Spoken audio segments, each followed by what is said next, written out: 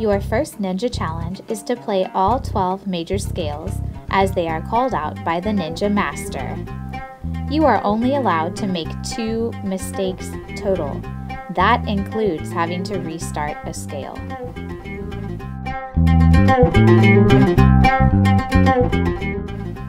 Here's a ninja quote to live by, as said by Steve Jobs Don't let the noise of other people's opinions drown out your own inner voice. Happy practicing!